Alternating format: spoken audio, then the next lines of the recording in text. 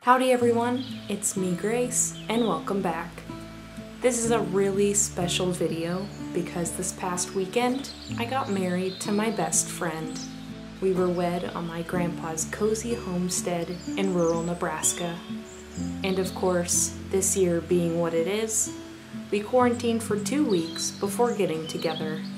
We also only had 10 people attending, so it made everything feel really magical and intimate.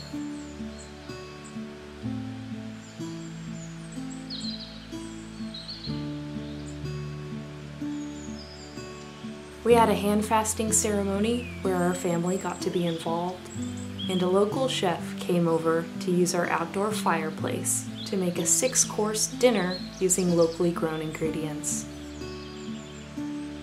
My mom's pets really enjoyed the extra attention as well. I made my own flower crown veil for the wedding, and I'll be showing you how I made it today. First, I sketched my design so I could figure out what I wanted it to look like. I wanted a rose flower crown with a two-tiered veil. I also wanted to incorporate spiderweb lace and other little details to complement my dress. I'm starting with some floral wire and wrapping it in a circle shape that could rest comfortably on my head. I got some off-white faux roses and removed them from their stems carefully.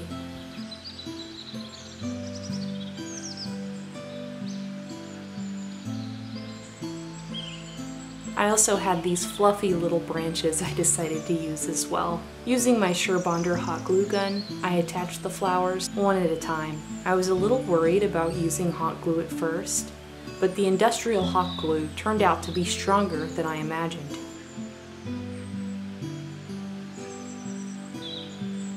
After the flowers and branches were attached, it's time to create the veil. I found this stretchy see-through fabric at Joann's that was so silky soft, lightweight, and just right for this project. As for the length, I wanted the longest here to reach below my waist.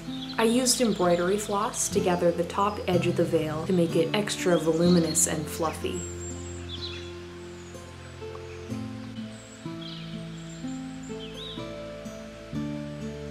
I made the top veil a little shorter and cut it into a U shape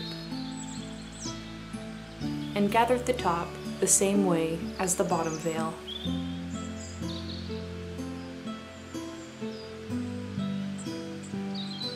Before attaching the veils to the crown, I added this lacy spiderweb trim to the veils. I love this trim so much. I've been adding it to everything lately.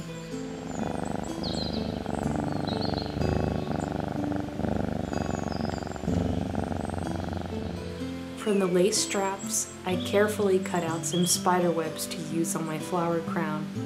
I'll set these aside for now and attach my veils.